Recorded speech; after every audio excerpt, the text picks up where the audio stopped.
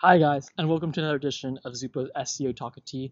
Today's conversation: Look through your old blog posts for potential SEO wins. The reason why I want to talk about this is SEO is difficult. There's a lot of resources that are needed, and sometimes it can be a great, you know, uh, value add just to go through your old blog posts to identify, you know, SEO wins there. But before we begin, I want to introduce the tea we have today. Today we have an Imperial Green Tea from Mei Leaf. This is a tea that I drink I don't drink green tea as much as I used to, but I do drink it every time it's you know really hot, which is an example of today. Um, or I just want something a little bit more mellow. Green tea isn't to me as strong anymore. Uh, it's more like I like to you know settle down and mellow down with some tea. That I may have some green tea. But let's go ahead and get brewing, get chatting. So why do I talk about looking through old blog posts for SEO wins? So you know, when it comes to SEO, like I said in the intro of the video, you know, it takes a lot of resources. You have to go out there, you have to link build, you have to outreach, you have to, you know, provide value to the community, you have to add more content to your website. It can be really resource intensive to start ranking. Now, what we have found with our clients is that sometimes old blog posts are a great treasure troves of possible opportunities. Um, we have worked with clients where we, they've written blog posts where it was just like a random whatever another blog post and all of a sudden it's starting to rank really well. And if you're not you know kind of monitoring old blog posts you may be unaware so what we have found is if we kind of go through your old blog posts and then monitor for, you know, what, you know, those blog posts might be ranking for, potential keywords. And when we say like ranking for, they don't even need to be on the first page. It's like you'd be surprised. Sometimes blog posts will rank on the second or third page for different keywords.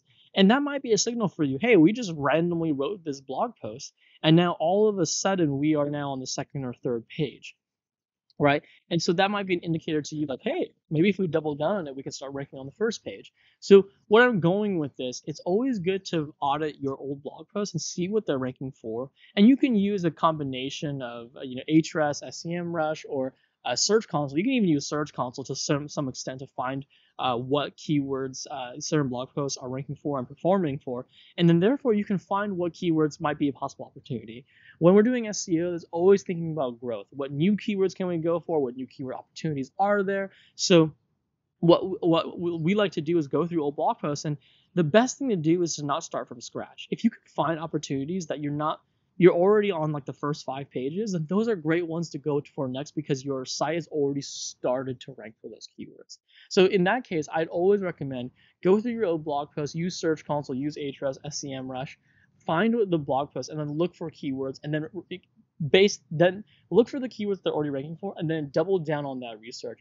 Are those keywords that you're ranking for relevant to you? Is the intent matched? Is that keyword group competitive? Can I kind of go for the keyword group as a whole? It's always a good starter. Now, I would say I want to warn it just because a blog post ranks for a keyword doesn't mean that that keyword automatically should be gone for it. Uh, there's many reasons why not. One, too competitive. Two, not relevant. Third, uh, just not enough volume, and so on and so forth.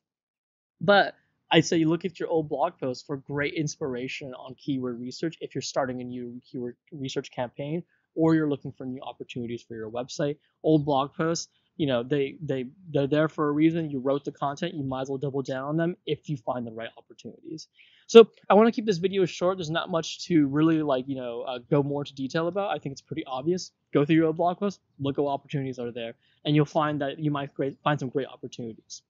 I'm going to go ahead and pour out my tea guys. If you guys found the video valuable please like and subscribe. I'll see you guys again soon. Thanks everybody